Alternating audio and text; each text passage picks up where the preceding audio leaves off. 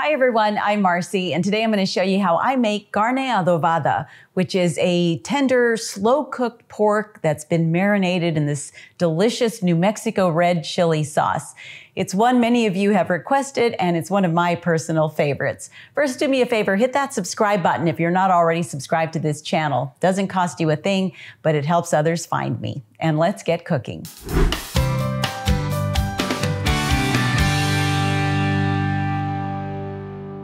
So before people start getting up in arms about the spelling, let me just say that growing up in New Mexico, I always saw adovada spelled with a V. It wasn't until I had it elsewhere that I saw it spelled with a B, which I'll admit does make sense when you consider adobo is spelled with a B. But I got to be real honest with you. I really don't care how it's spelled so long as it tastes good. And for it to be good, I only use New Mexico red chili pods. Now they come in hot, medium, or mild. So use uh, whatever your heat preference is. I like mine with a little kick and I'm going with about 10 pods here. Now you'll also need about four or five pounds of pork butt or shoulder. This is more than that because when I went to the store, I could only find it with bone in. So I'm going to have to carefully uh, cut around that bone. Now, aside from that, you'll also need four to five cloves of garlic, one tablespoon Mexican oregano, one tablespoon cumin. You'll need some salt to taste, a couple of bay leaves, and then this is optional, but I like to sprinkle a little flour over the pork just before I fry it because it helps it to form just a little crust and then uh, also helps to thicken the sauce. But you'll be fine with or without it. So let's go ahead and get started. I'm first going to cut the pork meat into pieces that are about two inches in size. And just so you know, I don't cut off all the fat. Only when it's a big piece like here on the bottom, I will definitely cut that off. But otherwise, the fat just um, adds to the flavor. It helps keep it really juicy. When I've got all my pieces cut, I just place them in a bowl and season with kosher salt, making sure all the pork meat is seasoned.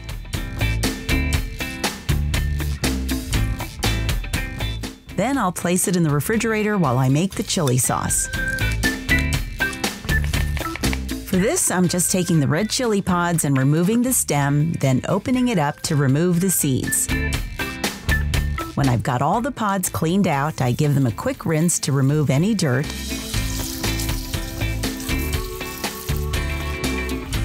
Then I place them in a bowl and pour very hot water over them. I let them steep for about 10 to 15 minutes until they begin to rehydrate and soften.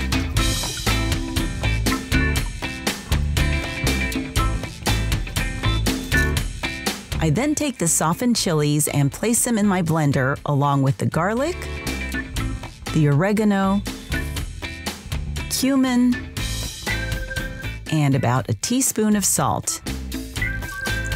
I add in only about two cups of the chili water because I like it a little thicker for adovada, but you can add a little more if you like.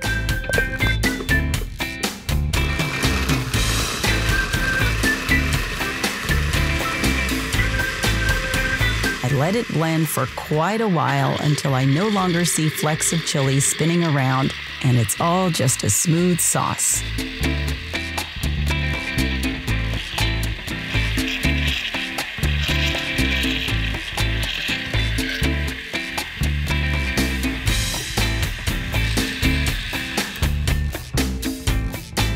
Once it's done, I heat my Dutch oven over medium high heat, and you can use any large oven safe pot so long as it has a lid, and I put enough oil in it to coat the bottom. I take the pork meat out of the refrigerator and quickly sprinkle a little flour over it and get it all coated. Again, the flour is optional.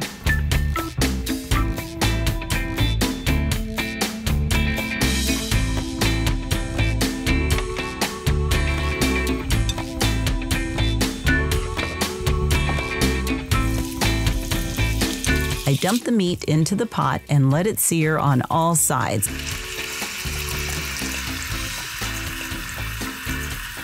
This just helps build flavor, but when you've got this much meat crowded into the pan, don't expect it to brown. Just sear it as best you can.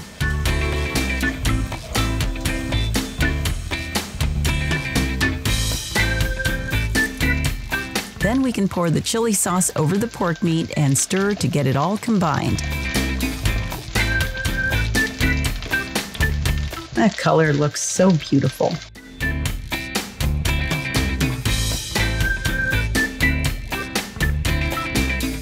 We're going to let it reach a boil and cook for about 10 to 15 minutes. So at this point, you can go ahead and drop in the bay leaves and put the lid on.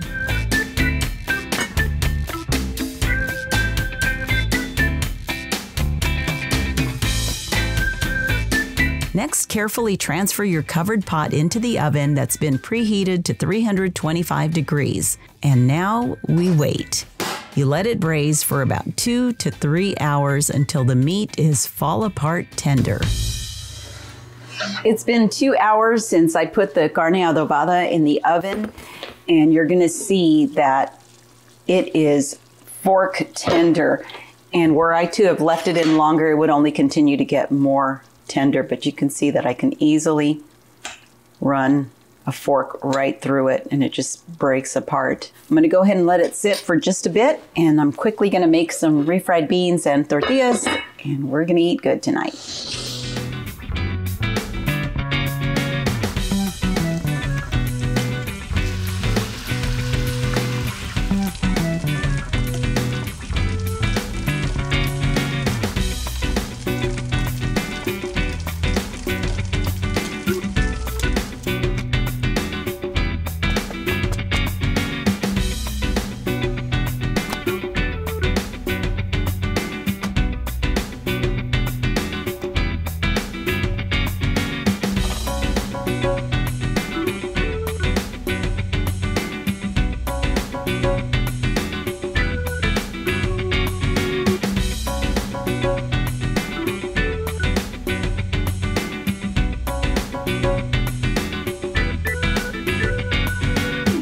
Just looking at this makes my mouth water. You've got this beautiful red color and it smells so good.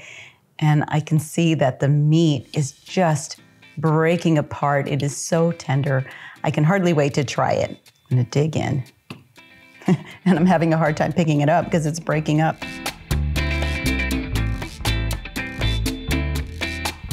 Mmm. Wow. The flavors are just out of this world. The carne practically melts in your mouth. And of course, I love red chili. It's just so good. Perfect seasoning, just the right amount of kick. I really hope you try this. Now, I know there's a lot of different ways to make carne adovada, but for me, nothing beats slow cooking it in the oven. Hope you try it. Thanks so much for checking out this video. If you liked it, be sure to give it a thumbs up and subscribe if you haven't already. You can also follow me at Marcy Inspired on Instagram and Facebook. Until next time, blessings from my kitchen to yours.